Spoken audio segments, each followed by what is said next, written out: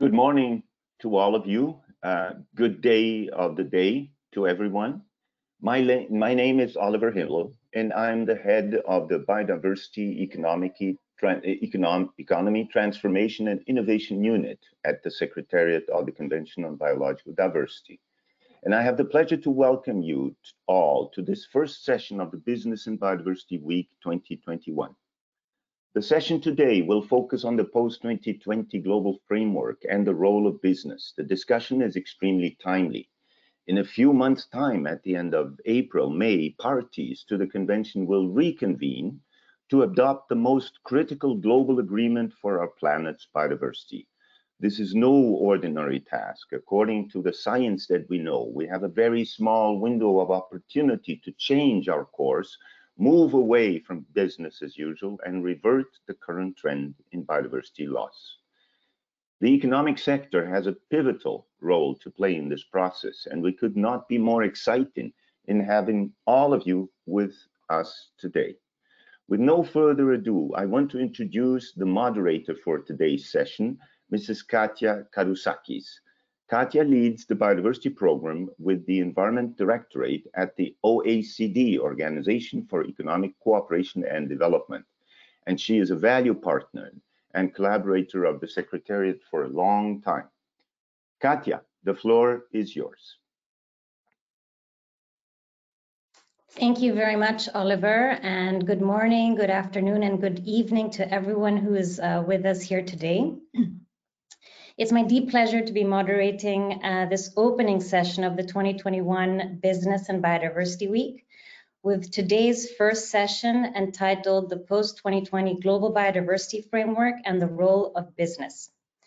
We are indeed at a critical time, uh, one in which uh, where we have taken stock of progress over the last decade, and we are now in a once in a decade opportunity to establish a new global framework for biodiversity at COP15 in April 2022 that can reverse the tide of biodiversity loss. It is clear that we all need to act, government, civil society, and business. Um, and the drivers of biodiversity loss are just too deeply ingrained in everyday policymaking, in our household consumption patterns, and in business decision making.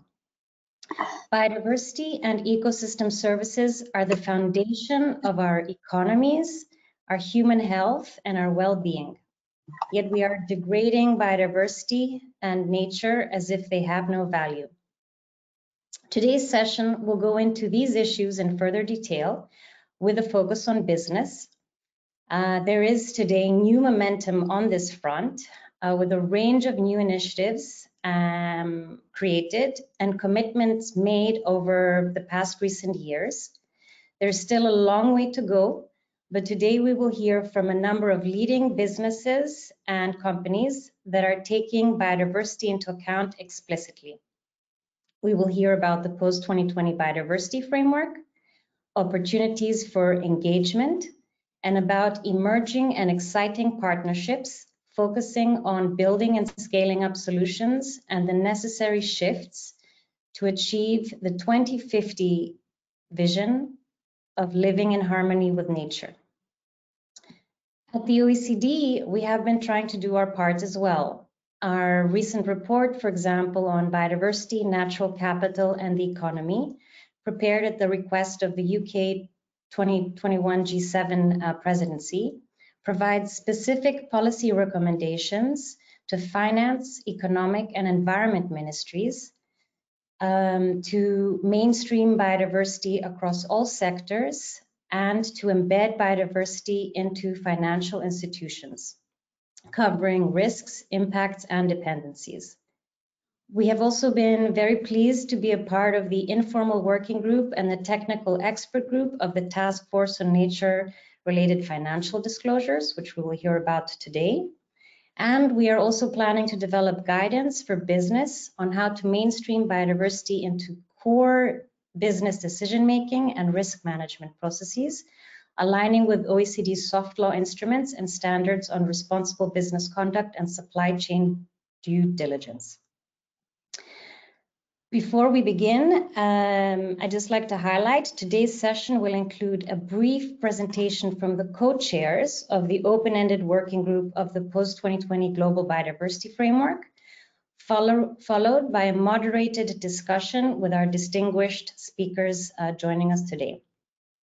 Please note that today's session is being recorded and the video will be made available in a few days on the Business and Biodiversity uh, Week's webpage. A message including the link to the recording will be sent to all registered participants. It is now uh, my deep pleasure to introduce Ms. Elizabeth Maruma Mrema, Executive Secretary of the CBD, who has provided a message with opening remarks. Thank you.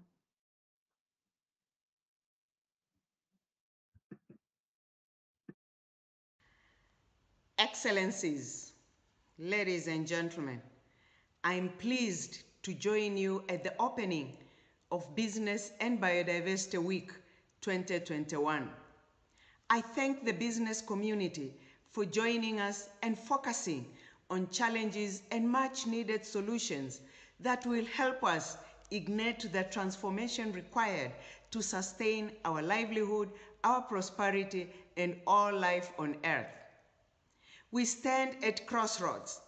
Even as the world continues to confront the COVID-19 pandemic and the interconnected climate and biodiversity crises that affect our lives, we are all still knowingly destroying our planet's life support systems.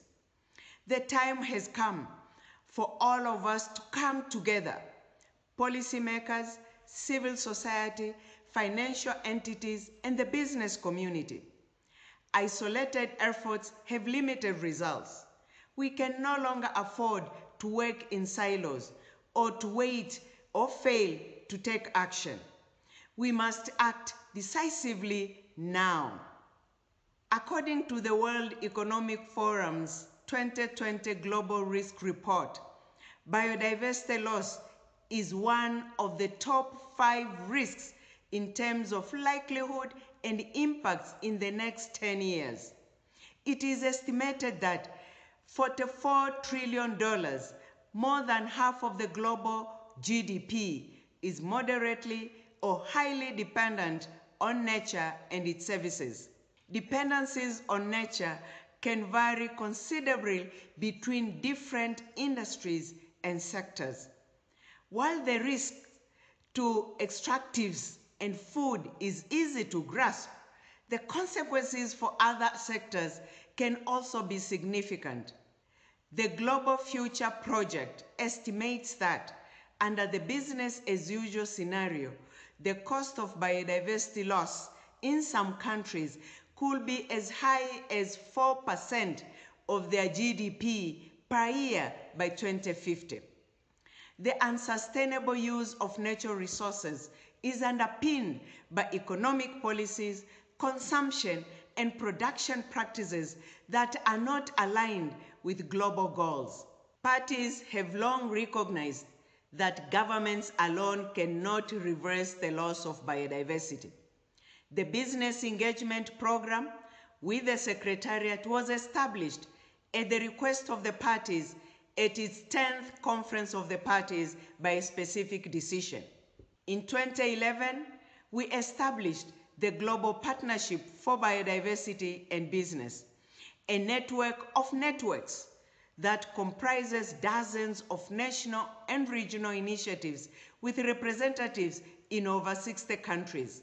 This partnership allows a closer collaboration with the broader business and biodiversity community, business associations, coalitions, development agencies, NGOs, academia, and many other players that are investing in turning commitments and ambition into measurable actions.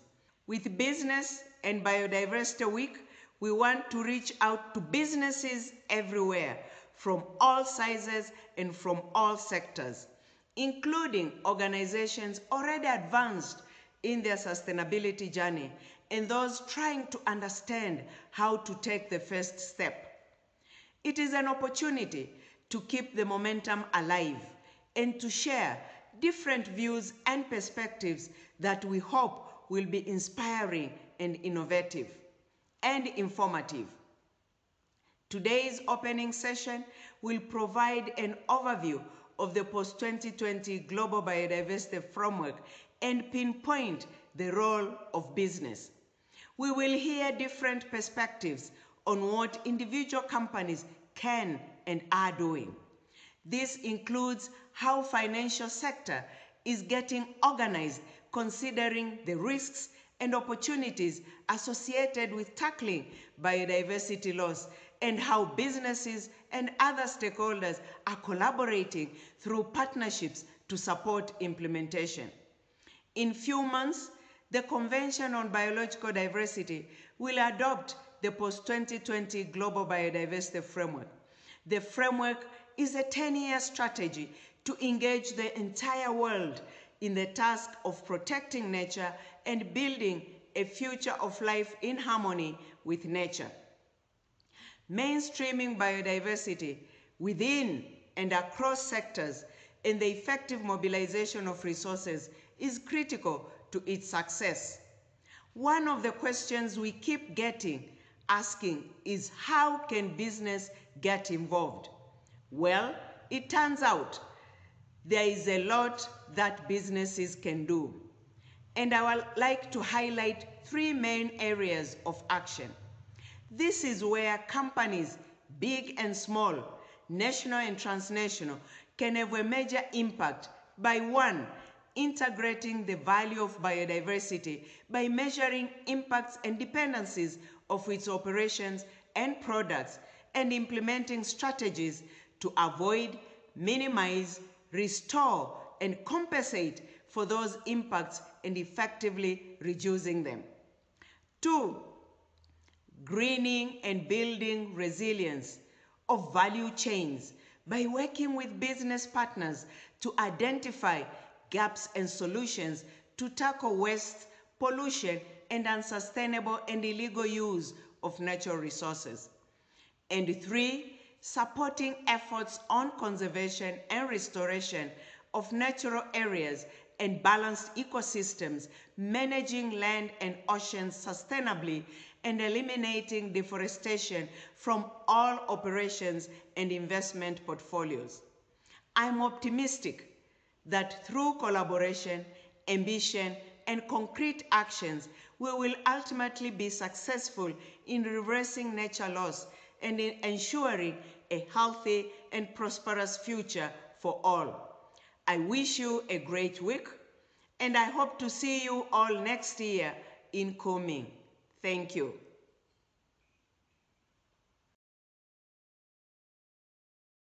Thank you so much for those opening remarks and for really getting into uh, the, the need for uh, business to get engaged and how they can do so as well.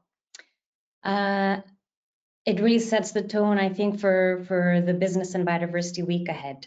Um, I would now like to invite Mr. Francis Ogwal and Mr. Basile Van Havre, the co-chairs of the Post-2020 Open-Ended Working Group, to share with us an overview of, um, of the, the upcoming framework.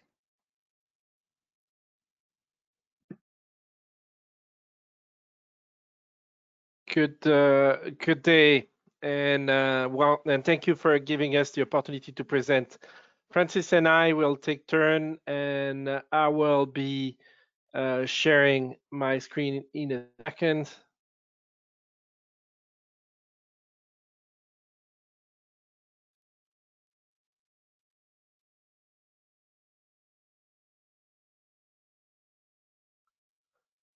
Um, Katya, maybe you can tell me whether you see the presentation. It should be up on Yes, slide one. Yes, I can see it. Okay, It's a great. little small. Is it small? Ah, you should see. Let me see if I can do full, it's full screen here.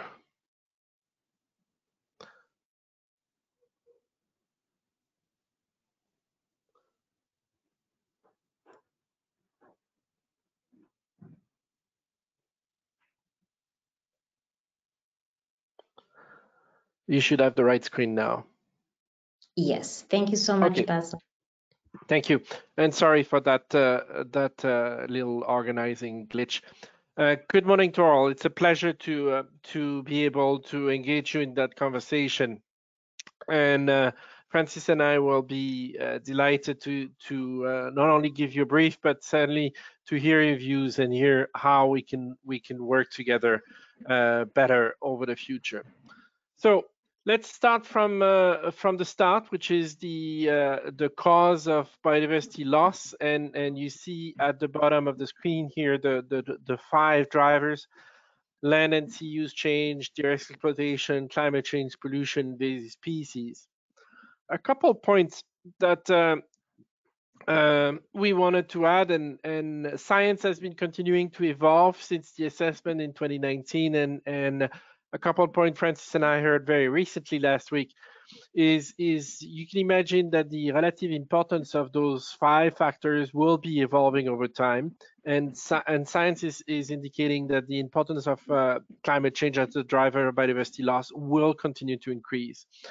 And in turn, the importance and the potential of uh, addressing some uh, some of uh, the climate change issues through uh, how we can protect land and restore land will be increasing as well. So don't look at that uh, at that scheme here as a static uh, uh, assessment. It is a dynamic one. And then thirdly, um, the point on on the indirect drivers of uh, of uh, biodiversity loss are, are continuing to be important. And what scientists and modelers are telling us is demographics is is a factor that should be kept in mind. So that's for the drivers. Uh, moving on to the guiding principles that we've been using in doing our work. Uh, as mentioned in the, in the previous slide, there is an urgency to act. Um, this is one of the biggest risks uh, we face. Half of our economy is depending of nature. Uh, the previous uh, the previous uh, frameworks of targets were was not as successful as expected, and cl clearly uh, the system in place at that time in terms of reporting and review has not met its target. So here we are. Uh, it's kind of a once in a lifetime change to uh, to fix things before they get worse. Uh, we've been asked with Francis to lead a party-led process that is participatory, inclusive, gender responsive. I won't read through the the 13 uh, factors, but you can see them. I want to particularly point to you the difficulties in having both a realistic uh, set of targets, one that can actually be accomplished, but also ambitious enough so that we can reach that vision. And we need to uh, create a robust reporting and review. One of the, the conclusion of the diagnostic we've done is that uh, what uh, we need to, in order to be successful, is to create a framework that engage a lot more than ministries of the environment engaging uh, the productive sector, government as a whole, not just environment, but industry and, and infrastructure ministries, civil society, business like you, and the private financial sectors, farmers, everybody. So, so basically, we need a system that is uh, that adopt a generic language that can be applicable to to many, and um, and also one that is built in a way that is open and to and onto which we can graft part coming from others. Here's a slide coming from uh, the World Economic Forum. Uh, you will recognize that uh, how how you move from a, a, nature negative to a nature positive. We were extremely pleased to see uh, this coming uh, in the open and this coming from no other than the, the World Economic Forum. So I won't dwell uh, too much on that. Those are conclusions you're very much aware of, but it's very interesting to to see uh, where we are. A couple word on where does the the Convention on Biological Diversity situate among the the UN system. Uh, it is one of the the three Rio Convention uh, with climate, with the probably uh, you heard a lot about, and desertification you probably heard less about. What people don't know is that the convention has three objectives. Uh, the first one is very well known, which is the conservation, but perhaps people are less aware of the other two. Um, the the necessity to have nature meeting people need as food, etc. And we will talk about that. and then uh, the um, the need to have an equitable sharing of uh, benefit and access to the, the resources. the, the, the, convention work on, on set of uh, decadal targets uh, that we call Global Biodiversity Framework, and, and uh, we're now working on the one working all the way to 2030 these are a sets of objective and, and the agreement is not one where the implementation is taking place. Implementation is taking place uh, at the national, mainly at the national level and the subnational level, but other conventions such as CITES and the Chemical Convention are a very important role. A, a couple word on on where we are, and I'm I'm not expecting you to read through all the very small um, uh, time uh, uh, time font that you have there, but but the message here is that we've been working since 2018, and, and like many, we've been uh, changing and adapting to a new reality of COVID. And we're now in the very last part where where um, the first phase of uh, the uh, last meeting of negotiation has started in August, and we'll be resuming face to face in January in Geneva. That's going to be a very important and hopefully we'll be able to prepare a final package that will be delivered to ministers at the, the COP in uh, in Kunming in um, a, at the end of April 2022. So that's the part I wanted to present to you. I'll pass the floor to Francis. Francis, the floor is yours, and I'll turn the slide for you. Thank you, thank you, Basile, and um, I'll try to take again some few slides and then Basile will finish um, the slide itself. So we just want to say when we make reference to draft one, um, we've tried our best really to come up with a full text of that document. And um, there are some areas where we have put numerical figures, elements, and that of course was based on what we had from the scientific body SBSTTA. And um, so the GBF itself um, has got, uh, in terms of the way it is structured or arranged, you have got the goals, which basically define the vision. Uh, try this time round to, to, to, to, to make sure that the goals are also measurable as we make progress towards the 2050 vision. Of course, we've had views on that. And then we have the milestones under each goal, which define the state of the goals at 2030 timeline. That is, shall we have by 2030, are we making progress at all towards what we want, or we are stagnant? So the milestones themselves try to tell us whether there's any progress being made on those goals. Remember, the goals are long term, but we are saying by 2030, could the milestone give us some view on that? And then the targets, which there are currently 21 of them, defines action needed to reach the milestones, and eventually the mission and vision of the frame. Uh, next slide.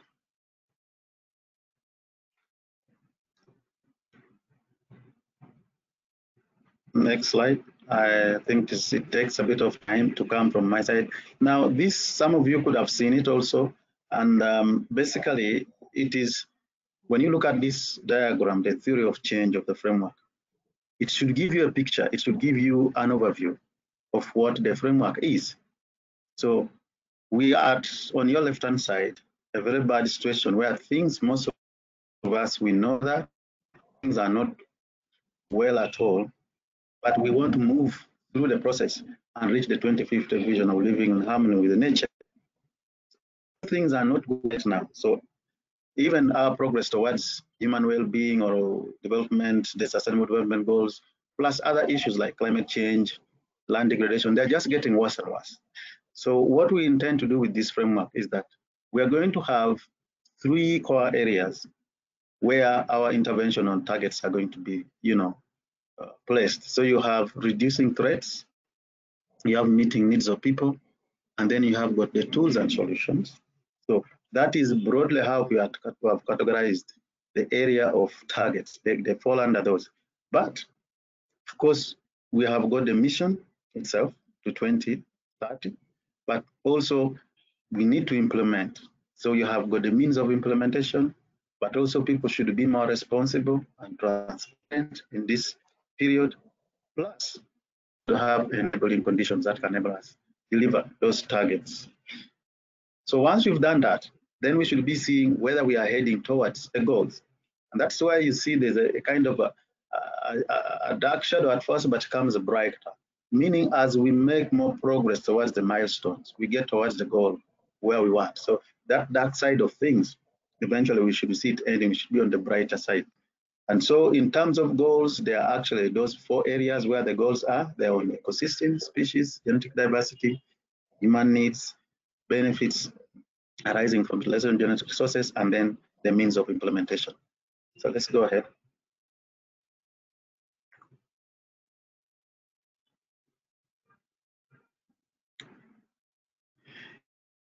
So in terms of um, the framework itself, I told you that first, our core business is to get into that future, the 2050 vision of living with harmony with nature.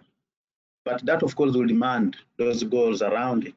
Maybe because here you can, uh, yeah. So you you see that within there, those are the four goals that we are talking about, which is very much needed if we are going to get towards that desired future in 2050. So there are those four goals I already talked about. Then below each of those, we have the milestones as we have explained to you. So this just try to, you know, still bring to you together. You'll see under A, you have those milestones, which are three. Then we have also under B, the milestones are there. So this is how the layer is essentially built. Coach, you could press the next one. And within that, then you have got the targets. So you will see that under each of those, um, for us to get those uh, objectives, in this case, our goals and the milestones, we have got those action targets that we are talking about. And then we have got those which are actually on reducing threats. They are the first ones that you see there. Then the next one is on uh, meeting needs of people and then the mainstream aspect of the framework itself. So this is how we try to diagrammatically lay all this, uh, the future we want, how it relates with the, the goals, how it relates with the, the milestones, and then the targets, and of those enabling conditions we've been talking about. So if you look at all that, that we have spoken in, in, in within the targets that we have, we've tried to make sure that they could come up in one diagram as you see it here. Yes, coach.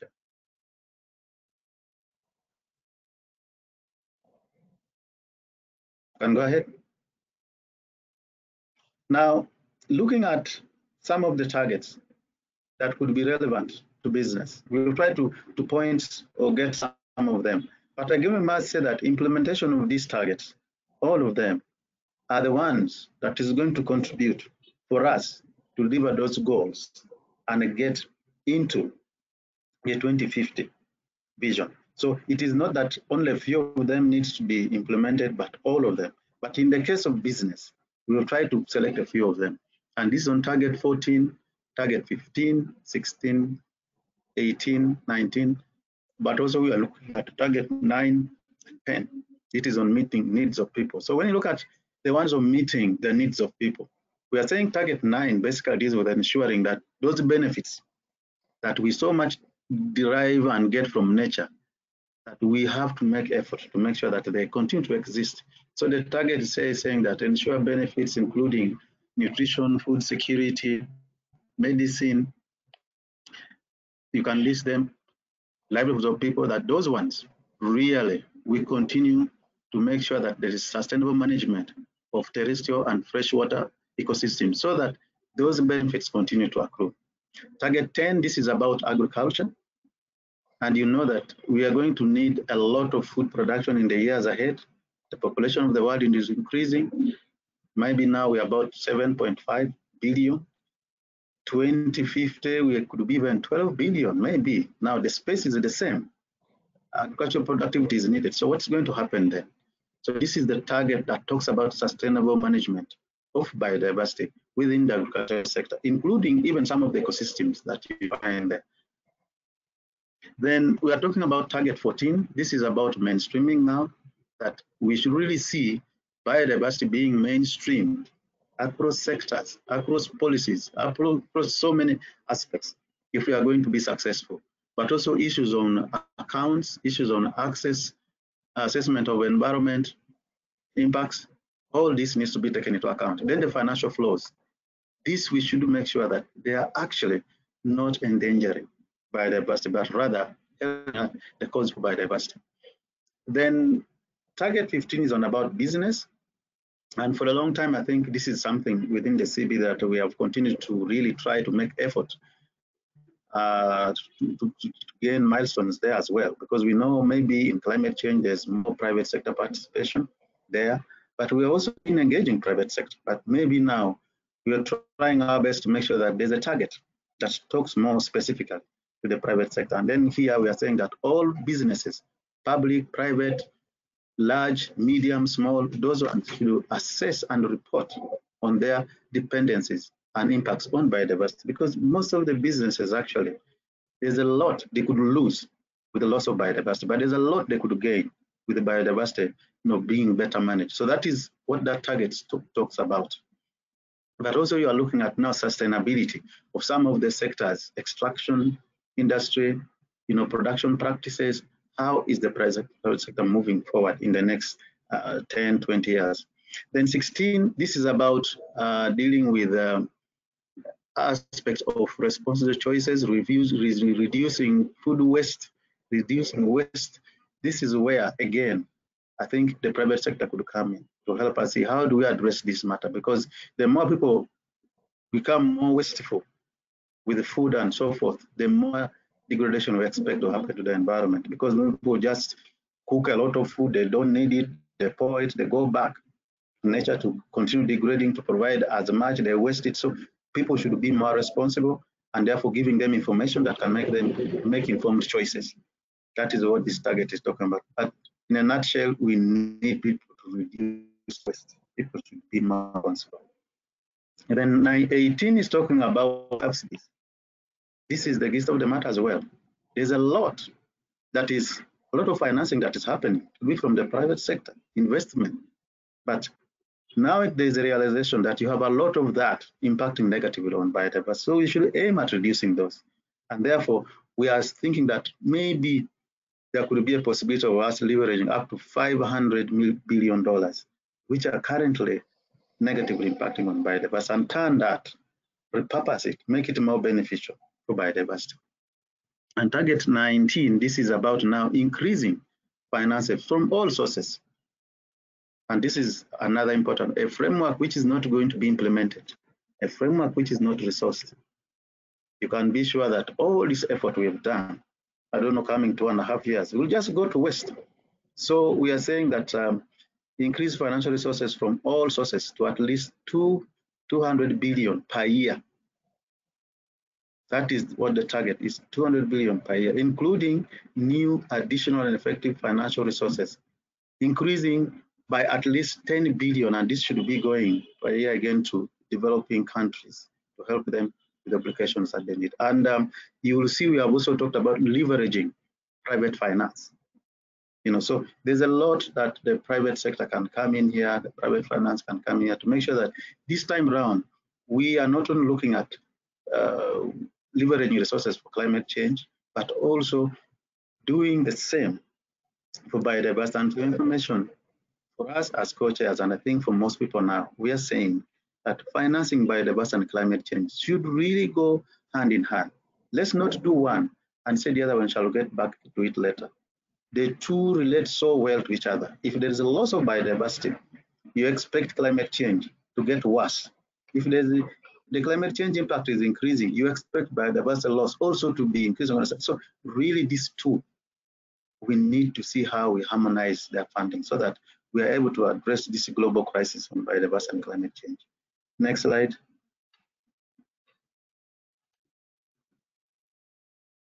Francis, you want me to take uh, over? Yes, I think now co-chair is going to take the slide, the remaining slides to the end. Thank you. Thank you, Francis a couple a couple reflection on uh, to leave with you as we complete this presentation. Um, first, let's uh, let's look at some uh, padding and and some uh, so international trade is it negative or positive for nature it can be both. As you know a lot of people are talking about the negative about imported deforestation and and deforestation in case of trade that do not uh, carry the full uh, the full cost. But very few people and i and i and i hope we can increase that talk about the positive aspect where where we can have food production taking place where it's most efficient. And in that way limit the impact of that production globally. So looking at it from a global perspective than than a national one. And, and perhaps what um, our institution has to do is to try to find a system that enable to have the right balance. So ensuring that the market force take, uh, take us where we want to go and, and, that we have that food production taking place in the best place and, and we can use international trade as a positive force in the in the midst. Second point on, on risk and, and a lot of discussion on, on disclosure lately. Um, we, we've all have seen the, the, the progress of the TNFD, the launch, etc and that's going to be it's going to be very interesting. The second part is going to be on mitigation, and and there, I think we're all also encouraged to see how the situation is evolving on the climate side, and and our confidence that uh, financial institution will will want to replicate perhaps even quicker what they've done on climate on the nature side. Uh, we've talked about the impact. Francis has described the targets in the previous uh, in the previous uh, uh discussion, and and we've we've talked about the, the need to to have an identification of the impact and a reduction. So really, what we're looking for is is trying to increase coherence, integration, and synergy, and and have a framework that is realistic and look at uh, both the, reali the the reality of the biodiversity and the, the the problem we face, but also the reality of the, the tools we have at our disposal. And then and then uh, some some final thoughts before we, we finish the presentation. Uh, lots of tools available uh, in front of us. Um, we realize that we need to build a system based on goals at a higher level enough uh, level so that it allow to be tailored uh, at the national level and implementation will be different. Um, we we encourage you and uh, uh, to make uh, to come up with what you want. We've seen the various uh, uh, communication and requests coming up from major sectors, but beyond that, it's important that you commit to what you can do and and what ambition is appropriate for your sector. That's going to be very important. Um, this is a framework that, uh, and I repeat that from the beginning, is if we want to be successful, we need all part of society to be active. If this end up being a, a framework of the Environment Ministry, we'll be repeating the situation that we've seen in the past. So uh, keep on your good work and and um, and finally, uh, those of uh, you in the sectors that will will uh, get ahead, transform early, will be uh, standing to gain immensely. So uh, that's the conclusion. We're now uh, in between the two phases of the COP, and, and I could not help but showing you a sustainable fish processing plant in uh, northern Canada. Thank you very much. Katja, back to you. Thank you so much, Francis and Basile, for that excellent overview of the process.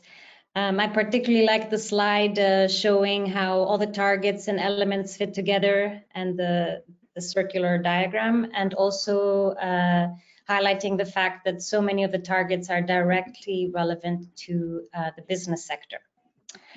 Um, but now, uh, with, without much further ado, um, I'm very pleased to introduce our guest speakers today who have kindly agreed to join us. I have the pleasure to introduce Ms. Magali Anderson, Chief Sustainability and Innovation Officer at Holcim, uh, Mr. Thomas Lingard, Global Sustainability Director at Unilever, uh, Mr. Claude Fromageau, Chair of the Global Partnership for Business and Biodiversity and Head of the Sustainable Development uh, at Groupe Rocher, and last, not, last but not least, Simon Zadek, uh, Chair of the Finance for Biodiversity Initiative. And so um, what I will do is I will start with an opening question that is for all of you, and I will ask each of you to respond um, in about for in over a period of like two to three minutes uh, per speaker. Um, and then I will uh, ask specific questions to each of you if that's all right. So first of all, the question for all of you. Uh, the world is going through some urgent and defining crises, the loss of biodiversity and climate change. The COVID-19 pandemic added an extra layer of complexity and urgency in rethinking our relationship with the planet, and it is widely acknowledged that we have a very tight window of opportunity to act before it's too late. I would like to ask each of you, why in your view is it important that the private sector takes action to help reverse biodiversity loss? And I will start with Magali. Thank you. And thank you for inviting me at the opening of the Business and Biodiversity Week. I'm very honored to be here with such distinguished speakers. Um, I think Elizabeth Mrema said it all. The time has come. So I, am not going to go on all the nature losses and how business rely on it. The speakers before me have done that way better than I could ever done it. I just want to bring a couple more elements here, which is the mega trend. And, and I'm with Holcim, so I'm in the construction sector. And if you look at the mega trend, we have about 2.5 billion people who are going to move to urban areas in, in the next 30 years. More than 60% of that infrastructure doesn't exist, which means we need to build New York City every month. And if we do it without considering nature, without, as you said, Katja earlier, living in harmony with nature, I think it's a real disaster. And this is why it is so important to bring back on how we bring nature in everything we do. And it's not just a question, you know, I could talk to you about pressure from investors, from employees, etc. But I think it's really about us as mm -hmm. human beings how can we do building without having the nature part of how we are going to do it? And I will just say two words about the nature strategy that we launched at the IUCN, where we took a commitment on water because it's both stream for us in water, not just in terms of reducing water from our process, but also on replenishing every water drop of water we use and replenishing to the nature and to the uh, communities, but also on biodiversity. So we took a commitment on biodiversity to measure our biodiversity and to have a positive outcome by 2030. So we tried to put a measurement to our commitment of being nature positive. And I think that was really a tipping point of on how we are looking at it. Thank you so much, Magali. Uh, Thomas, can I pass the floor to you? Certainly, and thank you so much for, for having me and having Unilever at this important event today. Um, uh, you know, I think it's critical that private sector is in, is involved in this, as with any of these big um, sustainable development transformations that we're seeking to do now. We're we're talking about something that no one sector can do alone, no one actor can do alone, and and the kind of mainstreaming of nature and biodiversity concerns into our economies can only be done with the perspectives uh, uh, and the agency of, of, every part of society. So it's it's fundamental um, that business plays a role. Business has a self-interest to play a role. It's not only a moral imperative that we're looking at here; it's an economic imperative. I think we've been very good at understanding um, impacts on on nature, less good at understanding dependencies on nature um, often because they play out in a more complex way and over longer time periods. But dependencies they are nevertheless, and no business is suicidal.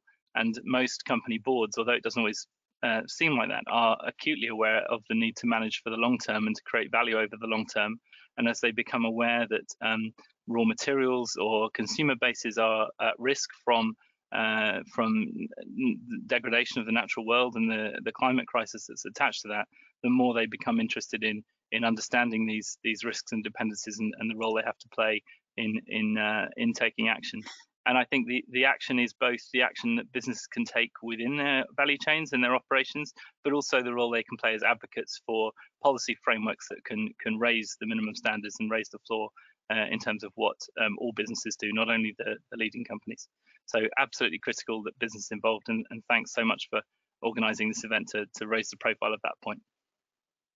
Thank you so much, Thomas. And I think um, it will be very interesting to also hear what actions you're taking. Um, I'll have the specific questions afterwards. And Magali, also you mentioned uh, the need to measure biodiversity and that you're you're doing that. And I'd uh, be curious to also hear more about um, how how you're how you're doing that.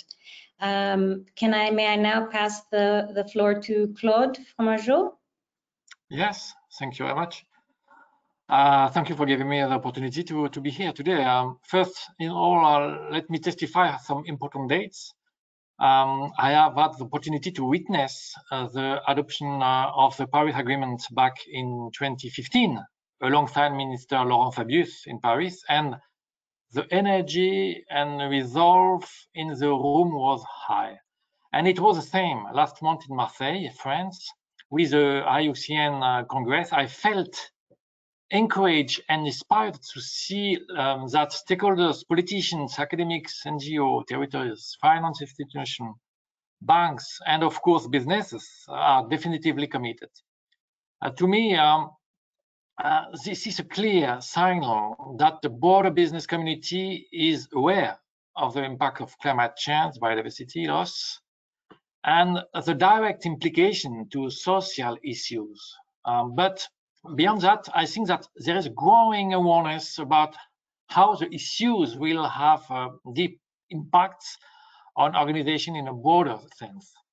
And from our perspective, we, we have long understood that our business model will be disrupted, that we have to reinvent our sourcing, our factories, our productions and marketing, our services, and the way we communicate with our consumer.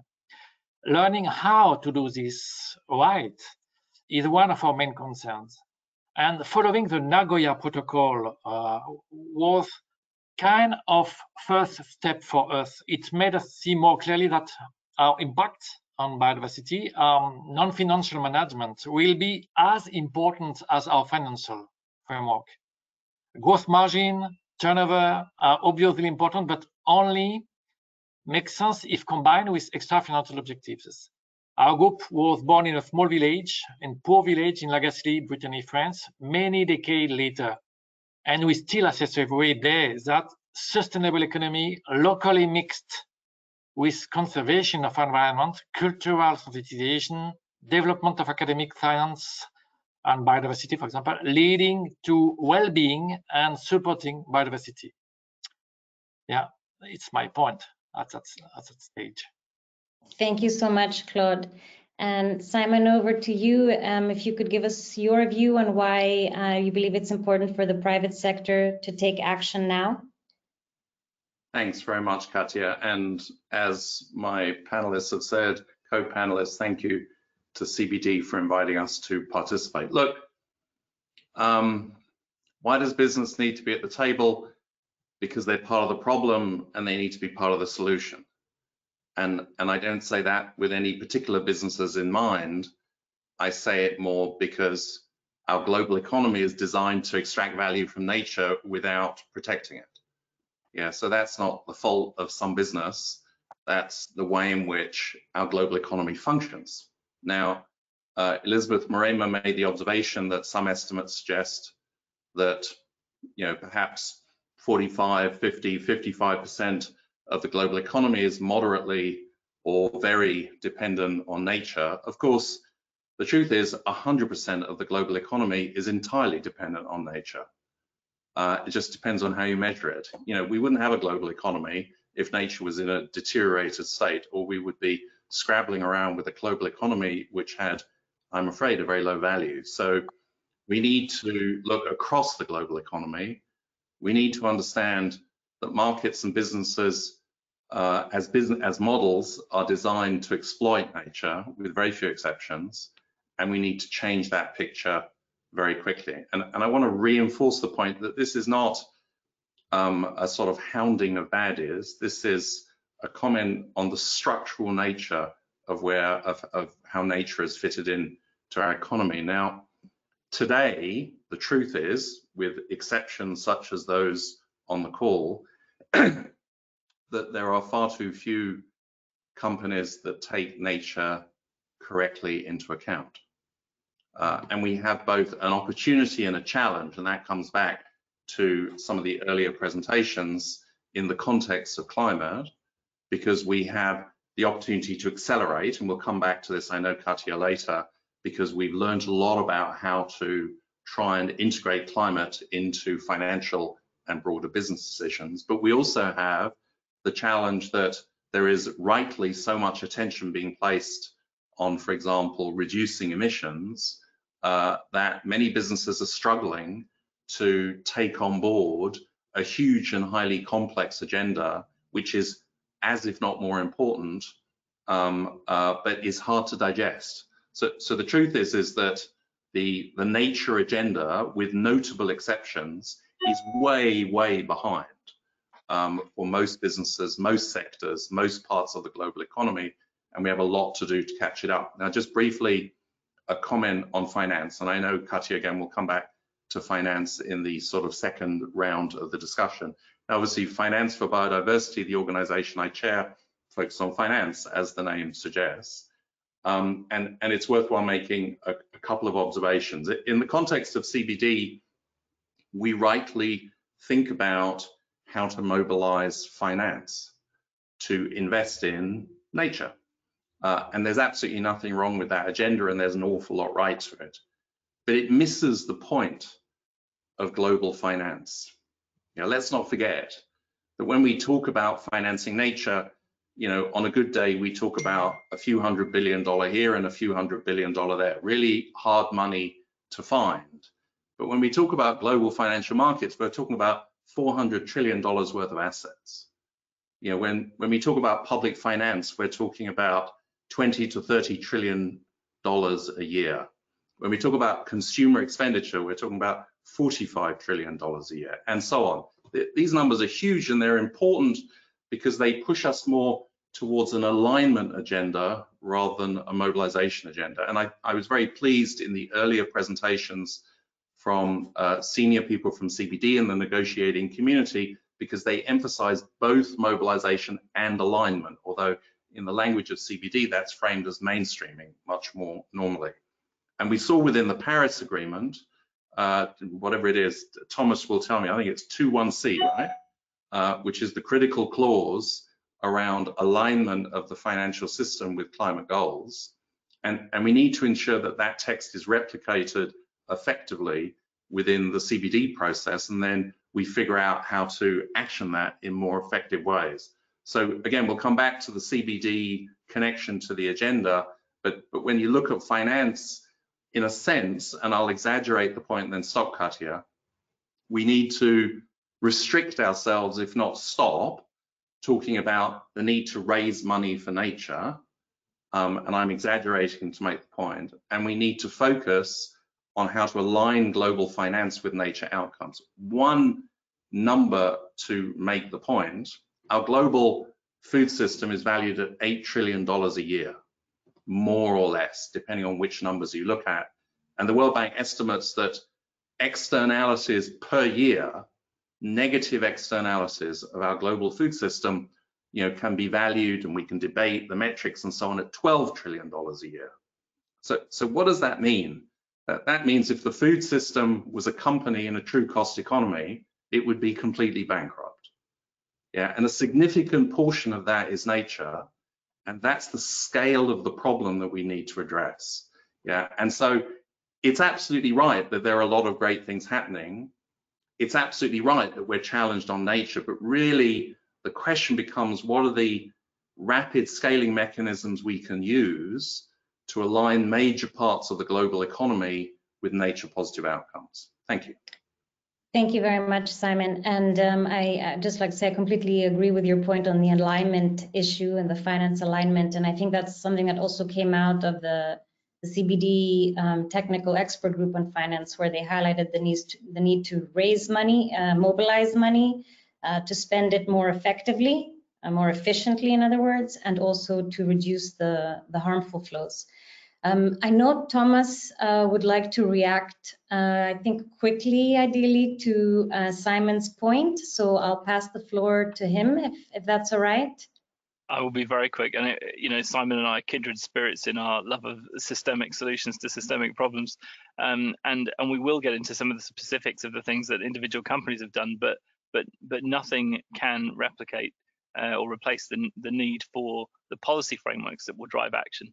And we talk a lot about the, you know, what can be done on nature disclosure, uh, on the model of climate disclosure. The reason the climate disclosure uh, work is having such momentum now is because of the Paris Agreement, because there is a clear policy framework that governments are seen to be responding to. And without that disclosure, uh, I think will not have the same on nature, will not have the same traction unless we get the same kind of links within the um, uh, the CBD frameworks and so on. So uh, yeah, just to reinforce that point that um, we can talk about the great things that leading companies are doing, but if we want to see them systematized, it has to be brought back through to a, a policy link uh, at the governmental level and then in terms of what financial institutions are expecting. Thanks so much, Thomas. I, I did also want to say this question was about what, what the private sector can do, but I think the need for partnerships as well between government sending the right signals also to the private sector and the private sector telling governments, you know, how they can help, what, what, you know, to inform each other on how to set up the framework in the best way is absolutely necessary. i am not mistaken, I also believe that the recent Kunming declaration um, does use this language on uh, alignment of finance. So maybe we're moving a little bit closer in that direction also in the biodiversity community. Magali, if I can pass on to you with a specific question. Um, historically, companies have been much more active in the climate agenda, so building up on that issue. However, we have been observing encouraging signs that the private sector is becoming increasingly aware of their effects of biodiversity loss. In your experience, um, how can business integrate biodiversity into their decision-making processes effectively and decisively? So yes, Katja, I think, I mean, the first one is what you just said, to be at the heart of the decision-making it sounds kind of obvious, but really what we saw in Holcim is when we created the CSO position at the executive committee level, that made a big difference because now it's part of every discussion, every commitment, etc. The other point is, and, and Simon said it, it's everyone's business. I think there has been a bit of that understanding that nature commitment is for agricultural sector or people who have a direct impact on agriculture. I just, I hope I managed to explain why construction is super important. And I'm sure we could explain that for every sector. So everyone has to feel concerned. We also need to understand the complexity. It took us one year to come up with our climate strategy and our commitment to net zero. It took us two years to come up with our nature strategy. And it's not by chance. It's not that we are prioritizing one to the other. It's that one was clearly easier to do than the other. And and, and I think we are one of the companies that started a long time ago. For example, I was mentioning the measurement, and we are going to measure using a tool called BIRS, which is biodiversity indicator um, reporting system. Sorry, I'm always struggling with, uh, and and that was put together between IUCN and Holcim about eight years ago. So it's not new. It's something we had developed. What is new is the fact of using it and the fact of taking a commitment. But just to develop our first biodiversity index is going to take us until 2024. So again, this is one of the major differences with CO2. We're not going to be able to measure it just like this. And then our commitment is to improve it by 1990, uh, 2030, why 1990? Um, we also have uh, we have about 90% of our quarries that have a biodiversity management plan with a target to get 100% by 2022. And so that shows how much we've been involved. But again, it's complicated. And one of the issue when it's complicated, it's a bit of a chicken and an egg.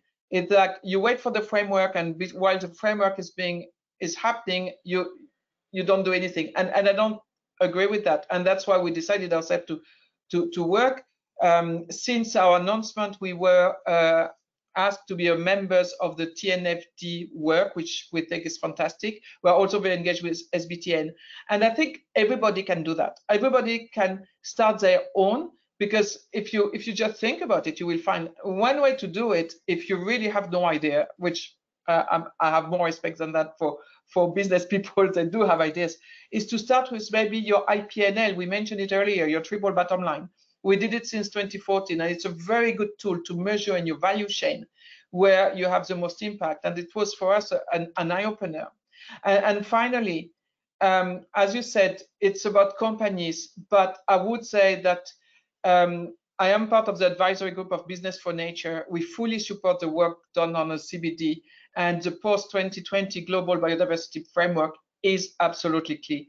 We need some uh, simple measurement and some simple way to, to engage people, the same way that we do it for CO2. So we know it's more complex, but we have now so many smart people thinking about it, we can do it. And we really need clear rules for all actors. Uh, we talked about finance. I will just finish with one thing. I speak a lot with investors. I get many, many questions on climate. I think, I'm not sure I get more than 2% of questions on nature. So, and I would love to get those questions because I would have some fantastic answers if I was asked them. So I think it's really involving everybody.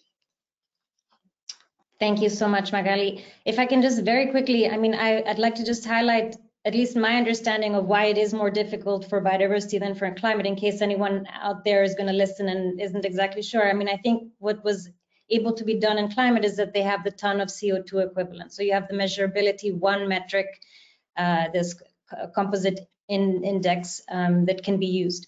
Whereas for biodiversity, given all the different the different ecosystems, the genetic diversity, the different species, it's much more difficult to develop one indicator for that and the multidimensionality and the complexity of that. And hence, but of course, you can start with some basic indicators, as you said, and then build up over time. So there's no need to say, oh, let's wait until we have the, the, the perfect measurement um, framework.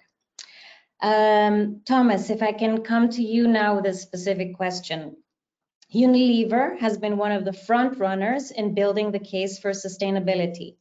The company launched last year a set of commitments and actions to protect and regenerate natural ecosystems including a deforestation-free supply chain by 2023. This seems like wonderfully ambitious. Uh, what practical actions is the company taking to tackle deforestation? And how are you planning to monitor progress between now and 2023? Thanks, thanks, so much for that question. Um, I always think 2023 doesn't sound ambitious. We had been trying to do it for 2020, uh, being very transparent, and the, the system systemic nature of that challenge just meant we uh, we couldn't do it for them. But 2023 is our new deadline.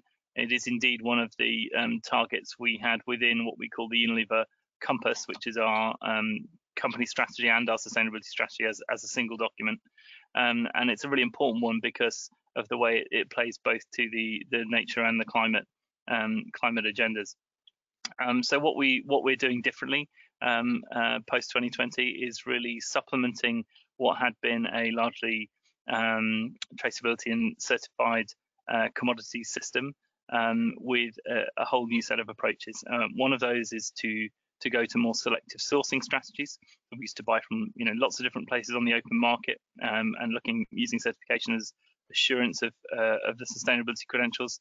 We're now moving to much more uh, what we call direct, um, directive and selective supply chain. Um, so we've made uh, our own uh, investments, 130 million euro investments in, a, in, our own palm oil refinery, so we can start direct relationships with the suppliers of um, deforestation-free and sustainably sourced um, uh, fresh fruit bunches in palm. So we got much better visibility of the actual origins uh, and therefore can be assured of their deforestation-free status. So that's quite a big change. Um, you know, it's not a sort of tick boxy strategy or an extra certification. It's a big change in how we buy and how we process um, palm oil, for example. Um, secondly, and we've talked a bit about the, the importance of you know the social issues in all this and and um, supporting smallholders is a really important part of our plan. We know that um, we've got to find ways that smallholders can diversify their incomes and can get trained up in regenerative agricultural practices uh, that will help in, increase yields, increase soil health, and so on, um, uh, and also uh, improve carbon sequestration in soils. So um, a whole range of issues there that we need to work on with our partners, training farmers, uh, issues around land title, access to finance, um, uh, in, to ensure that smallholders can can get a greater share of the value that they're creating. And then finally, um, the other big thing uh, uh, for the next few years is going to be around technology and harnessing technology. Um, we've got very interesting partnerships underway, looking at satellite data, geolocation, um, blockchain, AI, even um, looking at how we can um, get better real-time data of what's going on in supply chains. It's not, we don't think it's good enough anymore to to just find out that some, you know, deforestation has happened and that the palm oil is already in the supply chain. We want to, you know, use this thing tech to kind of identify it before it happens and intervene um, if we think that um, you know development's going into areas where we, we don't want it in our supply chains. Um, so this is all very exciting. Um, we're we're feeling pretty confident about the 2023 target, um, but uh, yeah, this is this is something everybody needs to get um, get on very quickly. Once the forests are gone, they're gone forever.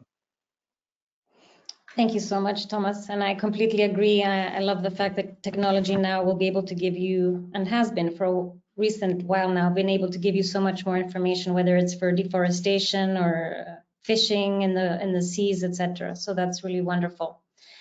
Claude, if I can come to you and ask you a specific question.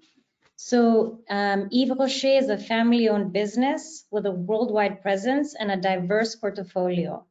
Can you share with us a few examples of measures you are taking across your value chains to ensure the sustainable use of natural resources?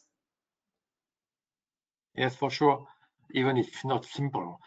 Uh, for example, in textile, for our uh, Petit Bateau brand, um, we started a deep change uh, and we set a target of 50% uh, of for our raw material, cotton, sustainable by 2022 uh, and 100% by 2025. And the cotton we use for our brand uh, will be sustainable without GMO, in organic cultivation, and with soil preservation. We have also launched the second-hand market uh, of our Petit Bateau brand. It's really a new path for us because it promotes a change in behavior of consumer and their consumption choice. And it seems to be a success. And for cosmetics, for example, the sourcing is a big part of our footprint. Our experience of organic agroecology uh, for our own cultivation for the past uh, 30 years made us aware about um, um, even before that the, the Nagoya Protocol and, and now we continue with uh, UEBT, uh, Union for Ethical Biotrade, to qualify uh, our sourcing of plants both in France and abroad and every sourcing is responsible on the, on a path to support biodiversity conservation. And we we are also looking into end use. Uh, for many years now, all our rinse of products are biodegradable and non-toxic. And now our challenge is on phasing out plastic with a target of reducing in by 30% by 2025. Uh, plastic is near to impact on biodiversity, ocean, and things like that. To conclude, I want to mention that we have been developing agroecological practices in our own land of about 100 hectares, and we are now working with small holders and farmers to develop collective practices under supervision by local university and local NGOs. Um, to successfully implement change in companies, large or small, the focus need to be on concrete practical shifts while at the same time be able to draw up long-term vision. And so we we know where we are headed.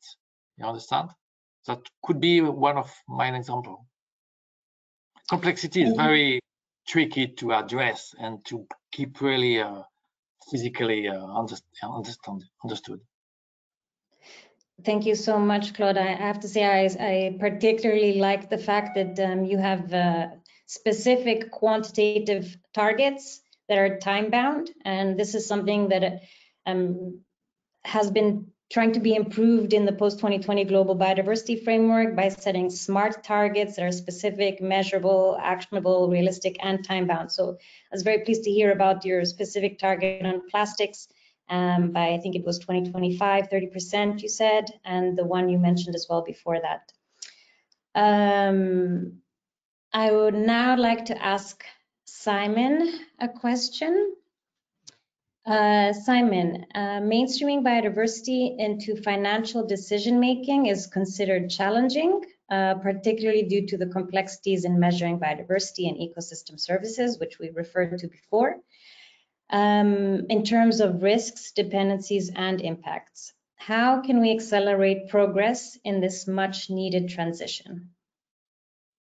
Thanks very much indeed. And, and I just did, you know, want to acknowledge all three of my co-panelists who are quite rightly pointing out that one has to do practical stuff on the ground, as Claude said at the end of his um, second round of comments, as well as kind of emphasizing Thomas's observation after my original round, you know, that ultimately uh, that doesn't aggregate to a system level. Yeah, it has to be, if you like, flipped and used uh, in ways that can drive uh, broader and larger scale change. And that's why it's so important to have companies and indeed financial institutions that are both doing stuff in their own shop, uh, as well as engaged, as this group is, in broader policy and regulatory engagement. Now, on the financial sector in particular, um, we're very pleased, uh, I am in particular, to have uh, been uh, given a lead role in helping to build out the first round of the technical work of the TNFD. And actually, Katja, you've also been part of the technical expert group of the first phase and have made a very helpful contribution.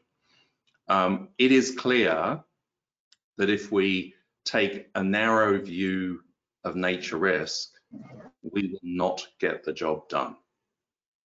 Yeah, so you know, materiality, as we all now know with some pain, uh, is something defined largely by lawyers and auditors, um, and occasionally by people who run businesses. Uh, and so we've learned in the climate space that we need a much broader frame than a narrow view of material risk. And in the context of emissions reduction, we've done that by casting out uh, in uh, uh, the, using the policy framework established under the Paris Agreement, creating scenarios around 1.5 degrees, making perhaps the heroic assumption that governments are going to drive us all to 1.5 degrees. Let's look forward to Glasgow, and then building a transition risk framework that focuses on how asset valuation changes according to physical policy, liability, uh, and other risks along the way. Now there is no 1.5 degrees for nature, and so we can't do the same thing, but we have to similarly get beyond a narrow view of short-term material risk. Uh, but we have to do that without a 1.5 degree central policy scenario. Uh, and so the first step that TNFD has taken is to define risk in a different way. Yeah, and so we've defined nature related risk as including, of course, shorter term material, material financial risk, but including within a risk frame, nature dependency and impact, taking a view that actually that begins to build a longer term view of risk as broader nature dependencies and impacts over time become material financial risks. So in a sense, we're integrating a scenarios model into the very definition of nature related risk itself. We have to do that as a community because we don't have the time to get everybody first to focus on what legally and for accountants would be material today, and then sort of get around to a longer game in the future. Uh, and we've learned both through the successes of TCFD and through the limitations of what disclosure is actually delivering, that we also have to go significantly beyond a sort of market efficiency view of how to get the financial community to take account of nature. And I'll just give a couple of illustrations to make the point. So in the UK, um, there is the Environment Bill currently passing through its large state, last stages in Parliament. The Environment Bill will, amongst other things, establish a mandatory due diligence obligations for corporations to report on their deforestation effects throughout their supply chain. Uh, and that is a good thing. Now, what's interesting is the way that flows across to the financial community because it will. Because although FIs are not included within the Environment Bill, they will have to take account of new information flowing through their investees, the Unilevers of this world and many others, regarding deforestation in their supply chain and build that into their own enhanced due diligences around deforestation. Obviously only a part of the biodiversity equation, but a significant part in many respects. And to enhance that further, um, clearly where the financial community has succeeded in a sense in protecting itself is that even if a JBS meat producer in Brazil, you know, finds itself buying cattle stock from farmers that are operating on illegally deforested Amazonian space, the financial institution that may be providing trade finance to JBS has no liability whatsoever. They only have credit risk and the credit risk is not significant. And so there's also a second round of work, and these are just to illustrate the point, Katja, focusing on the broadened application of anti-money laundering legislation to a broader range of environmental crimes and a broader range of circumstances. So there's the sort of let's let's measure it and price it. That's a kind of TNFD type thing, and that's important. But then there are many other levels at which we can actively increase the materiality of nature in financial decision making. Uh, and that allows us not to be just led by measurement, but to drive a whole new generation of standards and rules in multiple spaces in ways that will allow the work that TNFD is doing to price those new risks more effectively. And that will change the cost of capital to Unilever, and that will change the cost of capital to Holcim and other companies. And ultimately, that's what needs to happen. Thank you very much, Simon. Um, I'd just like to point out that we are very quickly running out of time. Um, uh, we have around 10, 15 more minutes. Um, well, less actually, uh, five, like six or seven more minutes. I'll keep my wrap up very short, so to give us more time here, but we've also received a bunch of questions uh, through all the participants. Um, so if I can ask each of you to just very respond as quickly as you can so we can try and go through more questions if, if that's all right with you. Um, so uh, Magali, a question to you. Um, you recently took part in the IUCN World Conservation Congress in the business track, which included the first ever CEO summit, along with many other discussions and announcements, etc. Can you share with us very briefly um, a few highlights that you found inspiring and maybe were like real game changers? One thing to start with, to be there was absolutely inspiring. The ambience, the spirit, the enthusiasm of everybody. We could all meet together and use all kind of acronyms that no one else understands, like NKFS, SCCA, and all kind of things. That was great fun. But for me, if I can take two highlights, the first one would be it was the first time the IUCN had a CEO summit and gave so much opportunities for businesses to express how much they feel concerned and all the collective actions that we can all do. I thought that was great. And the second one, I think I was quite impressed that we had people like uh, the President Emmanuel Macron or Christine Lagarde, who is the President of the European Central Bank. We even had, um, um, what's the actor? I forgot the name of the actor. Um, participating to the opening panel and really focusing on measuring by with a very strong message that what is measured get done. So I thought that was a very good sign. I could talk about it for 10 minutes, but you asked me to keep it short, so I'll stop there. Thank you so much. I, I, do want to read one question before we run out of time from uh, from the floor um, to give you maybe a chance to think about it. If someone would like to respond to that afterwards, please let me know. But the question to the panelists, and it's like a little bit of a tough question, which I like, um, measuring your uh, impact on biodiversity and managing your supply chain is key. However, why are businesses, and maybe not referring to you specifically, but why do you think businesses in general are hardly informing consumers on their biodiversity related um, impacts and uh, are not really including biodiversity aspects in their uh, marketing and, and green claims? So I'll, I'll put that question on the side for a bit so that maybe someone would like to think about that and, and come back in a moment. Um, I do have a question for Claude, if that's all right. Um, Claude, uh, you're currently chairing the Global Partnership for Business and Biodiversity, which was launched in 2011. Um, can you please share with us your perception on what is the role of partnerships and multi-stakeholder collaboration in supporting business to address global goals? And again, I really would appreciate shorter responses because th there are good questions and I'd like to, yeah, move through them. Yeah, uh, very shortly, the, the GPBB, Global Partnership, the, the, platform is is a chance. It's an opportunity to uh, to share experiences, to listen to the CBD, to understand more, more um, uh, what is doing, what is what is the, the, context, and what what are the experience abroad in very different kind of countries and cultural dimension. And uh, and uh, it's network. Uh, for example, I have the opportunity to work with and to connect with the GIZ in Germany, for example, excellent work to share at the grounds of uh, foundation initiatives on the on the on the on the floor. Then to conclude, I think that for many years um, the GPBB is a kind of community of people. It might seem uh, secondary, but for me, the, the, the networking in such a diverse group of people is is really a chance and um, and that make possibility to to support participants uh, in the different kind of experience. Yeah. Thank you very much, sure. Claude.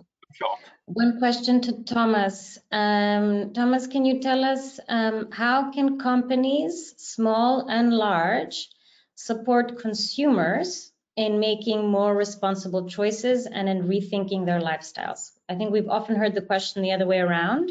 Um, maybe voting or whatever, but how can companies help consumers make those choices? So uh, it's a great question. I might try and weave in a response on on you know why nature and biodiversity aren't being pitched more to to consumers too, if that's okay. Um, mm -hmm. I mean, on on the behavioural shift, um, I think the the best thing for companies to try and do is to orientate their business models with the big shifts that need to happen. Uh, and this goes a little to Simon's point that you know we're working with a system that works in a particular way and expects um, businesses to chase particular goals.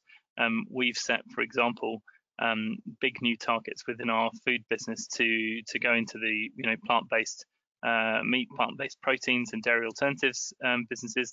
They're seeing huge growth. We think we can drive them faster, and we think that will have positive impacts on on climate and nature outcomes. Um, uh, so huge amounts of work going on in, in, in Unilever, and and we think that's going to be a big part of uh, of our future. If if we think about the you know why is it why are companies not coming out to consumers to tell them about biodiversity impacts? Um, I mean, biodiversity is a, a, word with something like what, five or six syllables in it. It is not a consumer-friendly word. Uh, it, it's not what a busy um, dad or mum in a supermarket with screaming kids tagging on their uh, on their coat is, is stopping to thinking about. So the the art of getting the marketing right and the and the messaging at the point of sale and in the advertising communications is is a very nuanced one. And often, you know, if, if we take an example like our our brand Knorr, uh, which you know does sort of soups and sauces and, and stuff all around the all around the world. Um, you know, there's a whole load of Unilever sustainable agriculture codes and you know 100 page uh, guides to how farmers should be growing vegetables for Knorr, and, and that will end up being translated into an advert which might say made with sustainably sourced tomatoes. I mean, that's pretty advanced uh, as it is, but that's basically all you all you've got time for in amongst all the other messages you're trying to land about how tasty a product is or uh, how you know what good value it is or how easy to prepare it is. So you know the what what goes on in the consumer's mind as they're choosing products is uh, is complex and and you know trying to get the the right messages landed um, is not always going to be about very technical language and explaining the, the, the complexities of biodiversity. It's about reassuring people that companies are doing the right thing um, and being responsible in how they're producing it. So I, I, I am probably less optimistic that a sort of technical consumer engagement uh, response is is the right way to go. But certainly we are seeing an increase in awareness of the climate and nature crisis and consumers reflecting that in in in how they uh, make purchasing decisions. Thanks so much, uh, Thomas, for that. Um, I'm quickly checking with the secretariat, so we're going to maybe run over a couple of minutes, and I probably shouldn't have said that to you.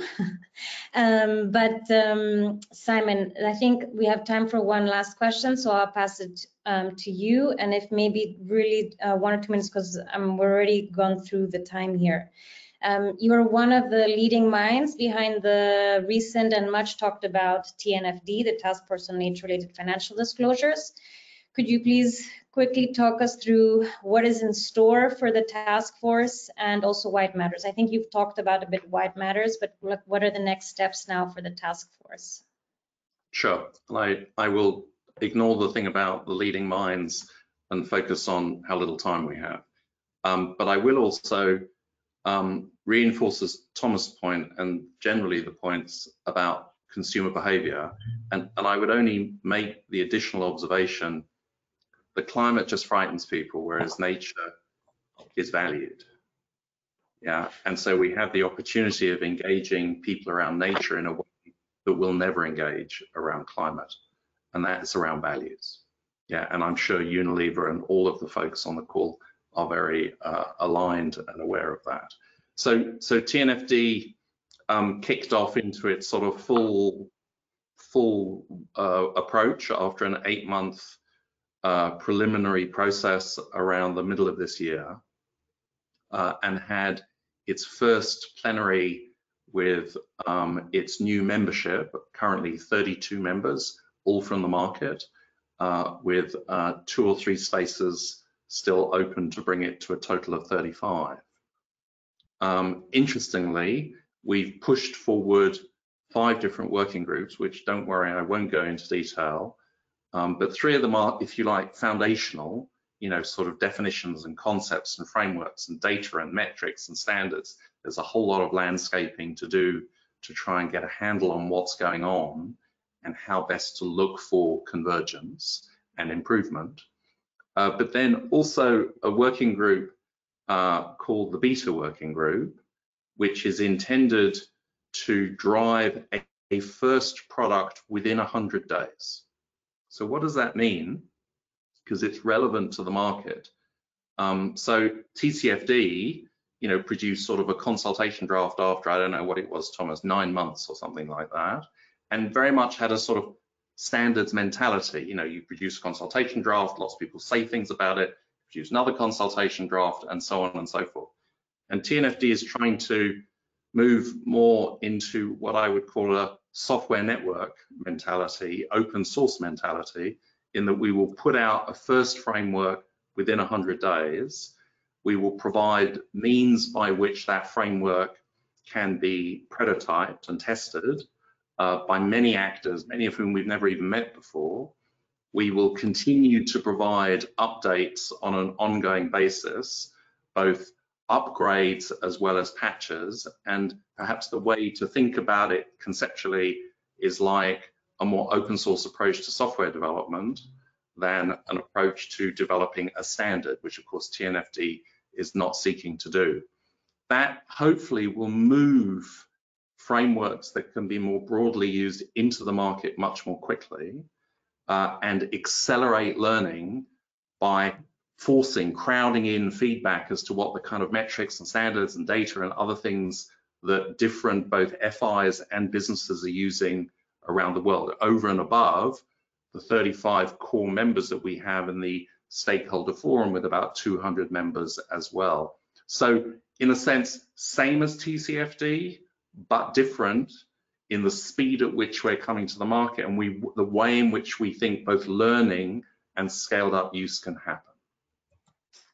Great. Thank you so much, uh, Simon. And um, with that, I, would like to close this part. Um, thank you so much to all of the speakers for today, um, for hearing from large and, and sort of the family-owned starting of, of businesses.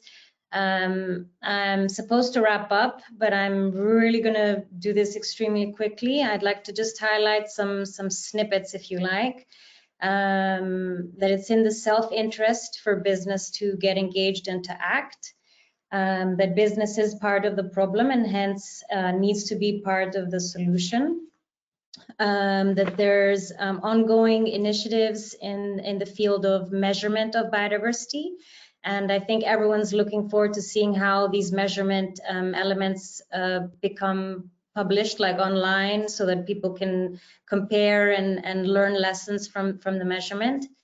Um, I would say the, the need for uh, clear uh, quantitative targets um, and public commitments from the private and business sector and with, with the measurement aspects so that you can monitor progress over time um, were perhaps just some of the key takeaways. Um, but we're really running late and I'd like to go ahead right now.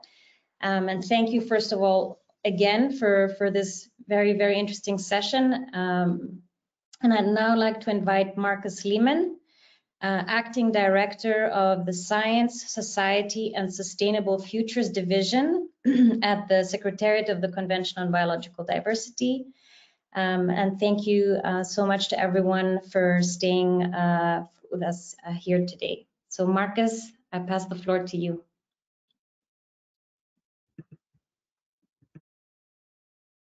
I think you're on mute, Markus.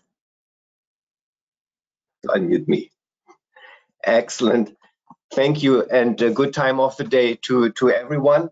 Uh, first of all, I would like to start really to by, by thanking you, Katja, for, for agreeing to, to moderate that session. I think you have done an amazing job and I, of course, this is testimony of the good partnership with the OECD uh, we had over many years now. In fact, I could say several decades.